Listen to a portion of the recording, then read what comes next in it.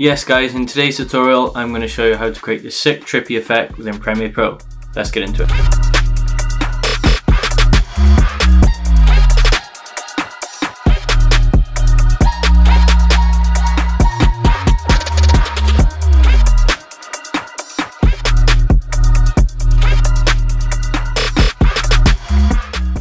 So guys, before we jump into the video, if you want to pick up these effects, you can go over to my website and you can pick them up. There's loads of different presets in there and they're already made for you, so you don't have to spend ages making these effects. You can just simply just drag and drop and save loads of time.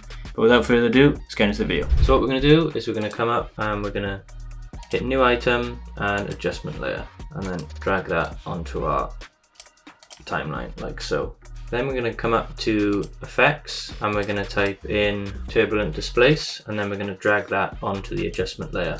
Now as you can see instantly it's already created an effect for us but this, if we just play this back, as you can see, this is not really what we're looking for. So we need to animate this. Come to the start of the clip where we want our effect to start.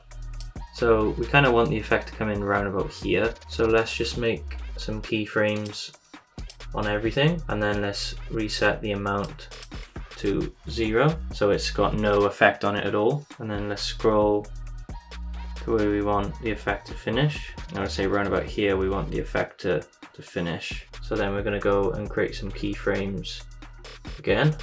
So now we're just going to adjust the amount of turbulent displace we want and the offset of it. So just play around with these.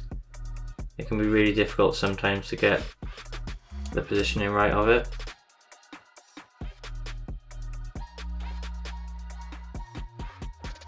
Grab our keyframes and drag them quite early on. So once we've made some keyframes in the middle, we're then to reset them at the end.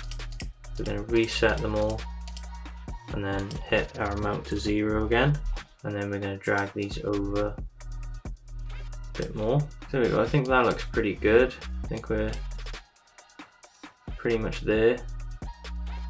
Yeah, so I think I'm happy with that. So once we've got our keyframes all lined up, what we can do now is we can just select all our keyframes, come down to this, and then ease in, and then we can drop down this. If we make this tab a little bit bigger, you should be able to see we've got some lines and stuff, so we're just gonna adjust these by pulling down so we can smooth out the transition a bit easier. And this just basically gives us more control over the keyframes and it's a bit easier to use. That looks pretty good. And then we're going to go down to the same on size. And then we're going to smooth these out again. What I also like to do is I like to copy the effects. You can come over to the effects controls and then just Command C to duplicate the effect. So this is just going to add even more to it. When you're doing this guys, you really want to make sure that you create a keyframe in the middle so you want to start it off as normal, then create it quite trippy, and then you want it to fade back out into the normal footage. So there's no really right or wrong way how to create this like trippy effect. It really does depend on the footage. Like if I did this effect, exact effect on a different piece of footage, it might not look as good and you might need to, you know, change some values around.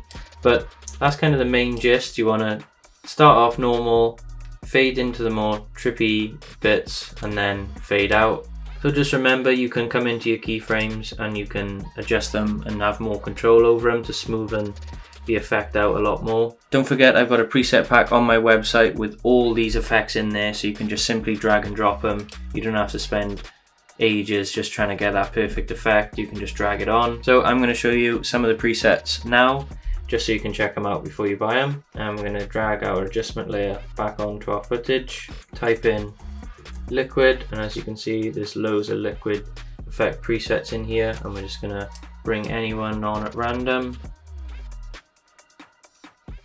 And as you can see it creates that effect straight away.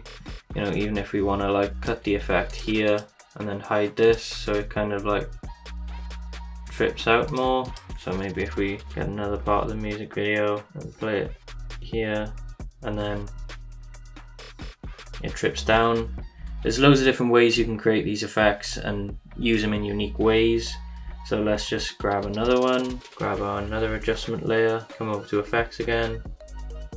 So we just drag this one on and as you can see it's created that weird kind of trippy effect that we're looking for. So guys, there's a load of different liquid effects in this pack. Don't forget to check it out. I hope you did enjoy the video. Don't forget to like, comment and subscribe. And please comment below if you do think these effects are cool. These are one of my favorites to use in kind of like trippy style music videos. You're not going to use them all the time, but they're good for when you need them. So don't forget to like, comment, subscribe, and I'll see you in the next one guys.